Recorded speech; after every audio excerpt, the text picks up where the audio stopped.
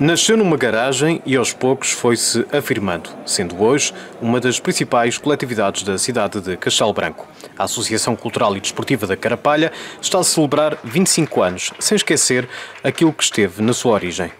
Esta associação foi constituída e criada com o intuito de desenvolver ações multiculturais, desportivas, recreativas e formativas, destinadas aos seus associados e população em geral.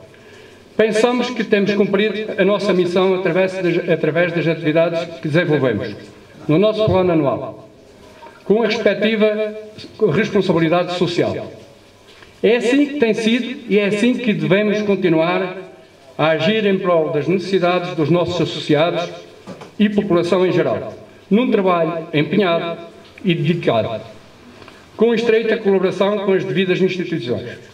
Pretendemos, assim, a Associação continuar a dar respostas aos problemas do bairro da Carapalha, fazendo com que a nossa colaboração ajude cada vez mais no bem-estar social de todos os que aqui habitam.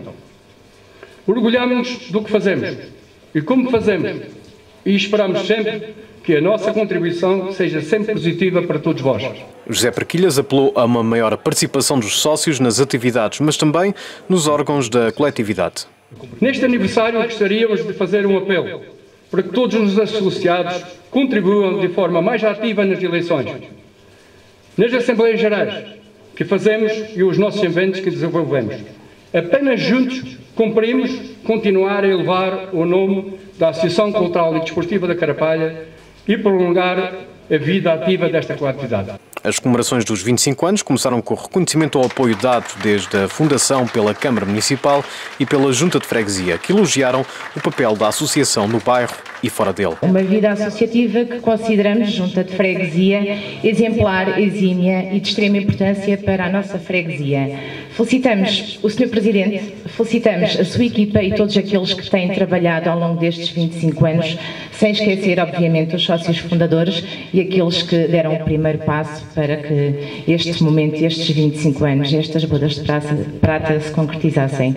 Que tem ao longo deste tempo feito as suas atividades, não apenas centradas no bairro da Carapalha, mas muito para além do bairro da Carapalha, que tem envolvido a população local, mas que tem alargado essa participação a outros cidadãos da freguesia, da cidade e também do nosso Conselho.